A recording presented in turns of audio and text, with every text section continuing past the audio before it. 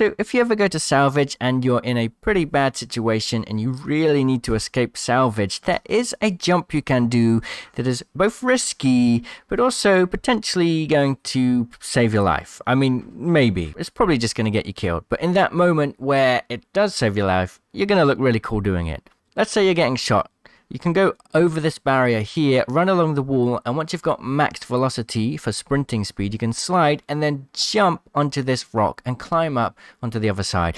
It's super scary to do, and yeah, you may just fall to your doom.